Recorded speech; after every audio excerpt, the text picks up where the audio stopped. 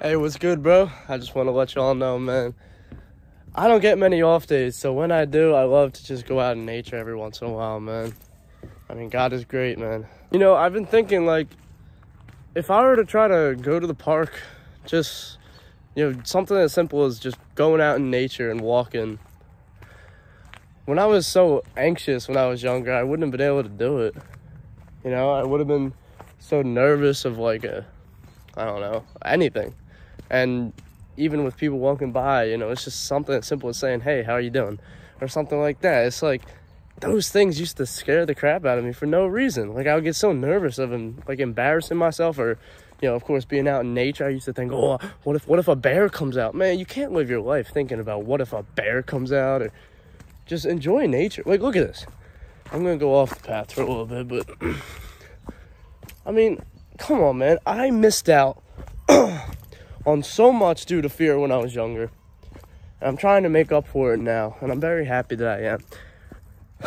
You can't live your life in fear, man. I mean, look at something like this, you know? You got a nice river to look at. It's, it's just beautiful, and I'm very grateful.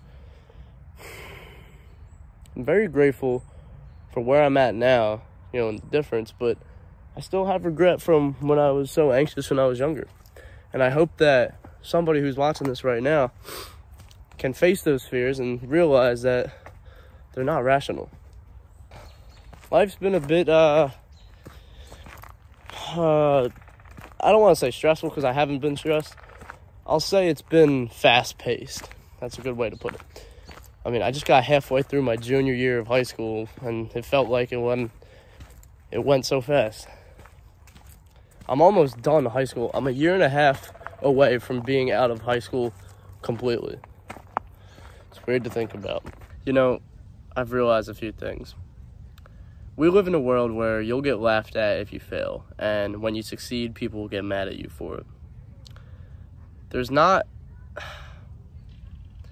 It seems as if there's not much love in the world.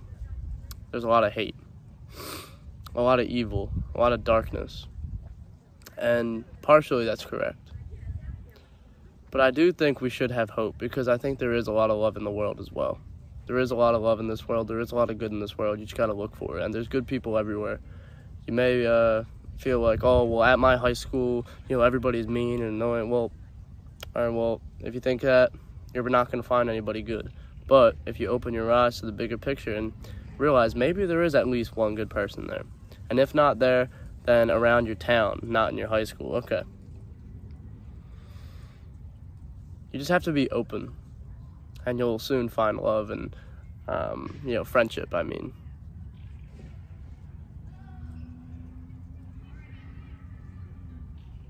And god's love is all around us too. You can see that in his creation. The trees above me and just the sun out the beautiful blue skies.